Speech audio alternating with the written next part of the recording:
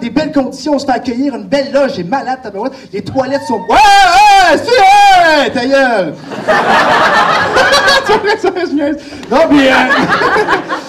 mais des, belles, crime, des belles toilettes. Moi, hier, j'ai fait un show, fait un show, j'arrive des toilettes des garçons, toilettes des gars, il y a de la merde à terre. Je fais comme, ah, c'est dégueulasse. Fait que je suis allé à la toilette des filles, à la toilette des filles, rien de faire ce que j'ai à faire, et j'entends une fille pleurer.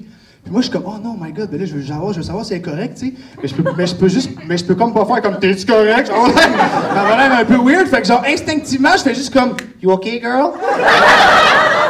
Puis là, là, elle fait non, mais mon, mon, mon chum m'a laissé. Puis je suis comme, oh my god, ça a fonctionné. Fait que là, moi, je continue dans le personnage, je suis comme,